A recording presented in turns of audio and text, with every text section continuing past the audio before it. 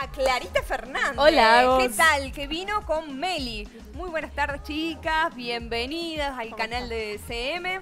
Eh, bueno, Sí, te cuento. Hoy tenemos un formato hoy. distinto, no voy a hablar todo yo, porque ya No, estaba medio claro, pesada. Entonces dijimos, vamos a entrevistar a alguien que sepa bien de este tema.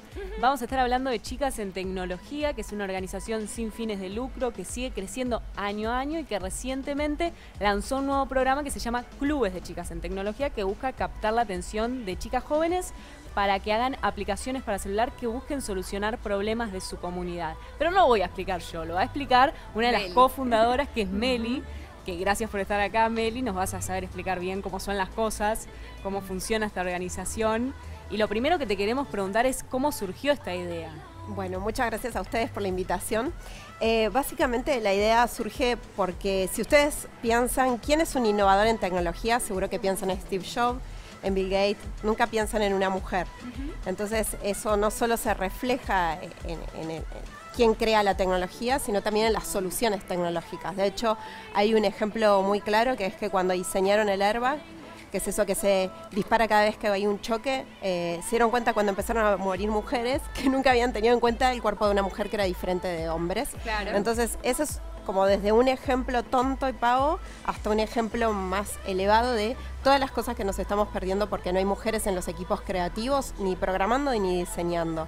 Entonces Claro. hay un montón de cosas que dejamos de detectar cuál es el problema. Y en Chicas en Tecnología lo que nosotros nos enfocamos es a cerrar esa brecha. Cuando decimos brecha es la cantidad de mujeres que están estudiando y trabajando tecnología en, esos campos, porque puede ser programación, puede ser diseño, hay un montón de ámbitos, no solamente uno se imagina al nerd en un lugar oscuro, codeando, y la realidad es que no, que es todo lo, lo contrario. Y eh, empezamos a entender que más o menos a los 13 y a los 16 años es la edad donde las chicas dejan de pensar que pueden estudiar eso. Y sobre todo porque nosotras vemos que hay una frase que decimos mucho de no podés ser lo que no ves, ¿no? y si no estamos viendo todo el día una mujer que trabaja en tecnología, es difícil que vos imagines, che, ¿cómo será estudiar o trabajar en esto? Así que Chicas en Tecnología nace con ese foco y todos los programas los diseñamos para chicas de 13 a 16 años que vengan a practicar, a entender y a conocer de qué va eh, tecnología desde un lugar sencillo, además donde lo más interesante es que son ellas las que identifican ese problema, que puede ser desde anorex- anorexia, bulimia, cómo se está inundando el barrio, cuáles son los problemas que tienen eh, las personas, por ejemplo, si eh, ven un incendio y no se acuerdan el número al que tienen que llamar. Todo eso, ellas eh, identifican cuáles son esas situaciones y las ayudamos a entender cómo es programar para poder generar esas soluciones que están en la palma de la mano, porque si uno se fija cuánta tecnología tenemos hoy, y la gran pregunta también es cada vez que abrís una aplicación, quién es lo- el que lo creó, El que ¿no? lo creo. Claro.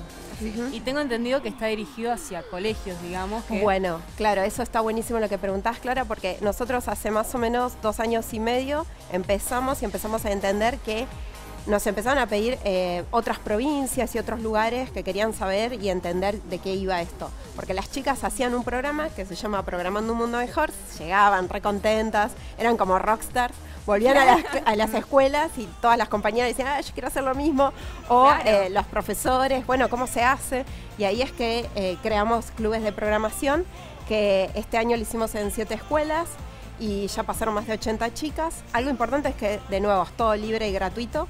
Eh, y lo que buscamos es que no solo formar a las escuelas, sino también que estas chicas sean las que lideren y trabajen y lleven ese club para aprender a identificar estos problemas y aprender a, pro- a programar un mundo mejor, si se Claro, quiere. claro. Y en el 2017 ya hicieron una prueba piloto. ¿Cómo, resultó todo eso? Exacto, estuvo buenísimo, salieron muchísimas aplicaciones. Lo interesante es que cuando vos estás eh, programando en tu escuela empezás a ver diferentes problemas que tiene tu escuela Claro. o tu barrio. Nosotros siempre decimos, hace como... eh, así como Pokémon Go, pensá que andás captando problemas desde el bar, desde el lugar que vos salís de tu casa hasta la escuela y ahí identifican desde la basura, desde bueno, accidentes, cosas que uno puede eh, resolver con la tecnología y que a veces no lo ves como de todos los días. Incluso muchas chicas solucionaron algunos problemas que tenían que ver con qué pasa, cómo te organizás el día y a veces empezás a estudiar re tarde y bueno, cómo cerrar las aplicaciones para no distraerte hasta que no. Esas fueron algunas de las soluciones que crearon, algo para llamar la atención y que no, no te distraigas y, te- y rindas bien. Y así hay un montón de cosas súper interesantes que crearon este año eh, estas aplicaciones de celulares. ¿Y cómo, cómo se desarrolla todo este programa de clubes? ¿Cuántos encuentros son? ¿Cómo, cómo se va dando? Bueno, primero se anotan las escuelas, nosotros ahí nos contactamos directo con los profesores o con las personas que llevan a cabo, el- vieron que hay una sala de computación siempre. Sí. Bueno, ¿quién es esa persona que lo coordina? Eh, la formamos, le damos todos los materiales, la capacitamos, la acompañamos en más o menos 14 encuentros. Eh, esos encuentros son muy cortitos y es después de clase o hay algunas escuelas que eligieron hacerlo eh, en el medio, eh, por ejemplo, no sé, en el contraturno o en algunos espacios, pero no te lleva mucho tiempo y durante una semana te encontrás con tus amigas para resolver otros problemas, que eso es importante. Claro, está buenísimo el programa.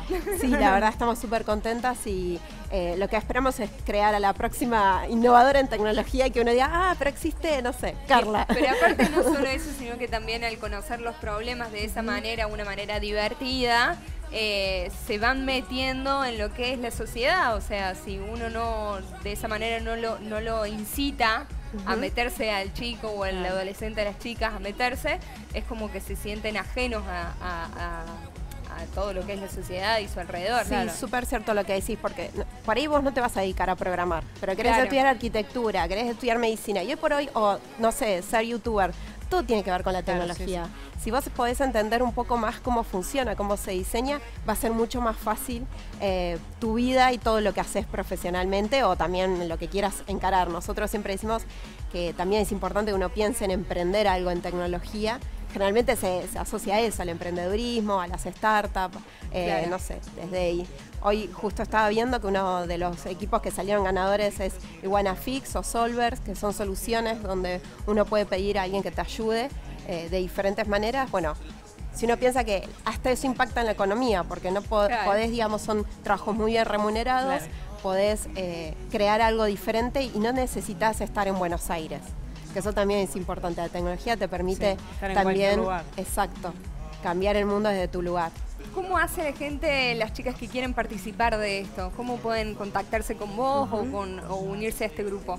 Bueno, estamos en todas las redes sociales, es arroba chicas en tech, y si no nos Bien. buscan en www.chicasentecnología.org.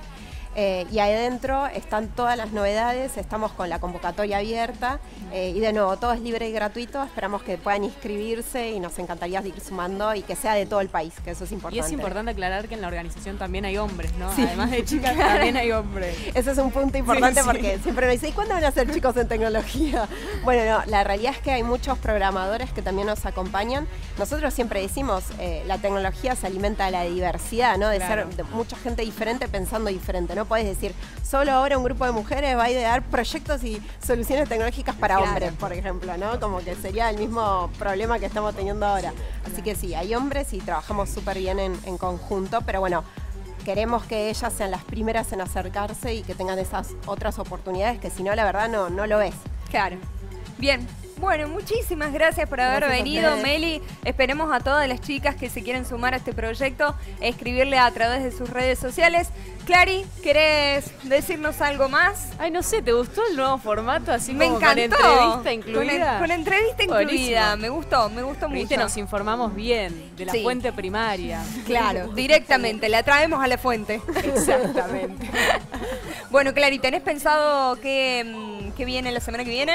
¿Tenés Ay, me sorprendiste algo con la no? pregunta, Perdón. No, no estaba No. preparada para esto. No está pensado, bueno, no importa. Es que viste que la tecnología todos los días sale algo nuevo. Yo no Sí. puedo preparar desde hoy para el martes que viene. Muy bien, me encanta. Entonces surge. Claro, va surgiendo porque todo se renueva. se- el público se renueva. El público se renueva, así es. Eh, ¿Les parece entonces si vamos a escuchar un poco de música para bailar? Perfecto, dale. Vamos con Abraham Mateo.